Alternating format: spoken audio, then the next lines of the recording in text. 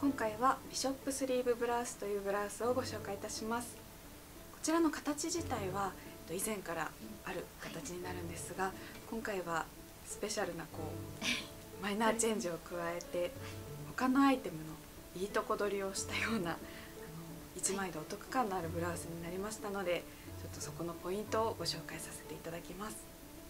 まずビショップスリーブというのがこのように肘から袖口にかけてバルーンに広がった袖のことを言います。そして今回は袖口がゴムの仕様になっているので例えば肘までこうグッと上げてきていただくような着方も大変可愛いです。そして袖口から手の甲にかけてフレアなお袖がこうついているのでこの辺りも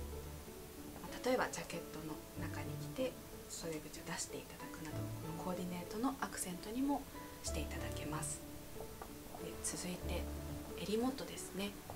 スタンドカラーの上にコットン素材のフリルがついています。このように襟元が少し高くなることによってシャープさが増しフォーマルな装いも楽しんでいただけます。次に後ろですね。このように細かなギャザーがたっぷりと入ったデザインになっているので後ろ姿もとっても印象的な美しいブラウスになっています。カラーバリエーションは4色ございましてはるさんが着ているのは銀河という黄色のお色になっています。そして私が着ているのがこちらアイスグレーというお色です。その他2色ございましてこちらホワイトとブラックというベーシックなお色もございます。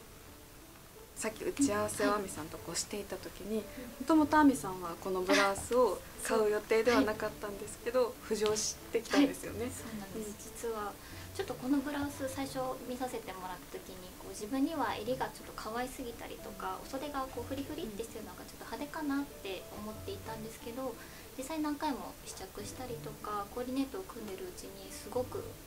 こう着回しが楽しくてちょっと決めました。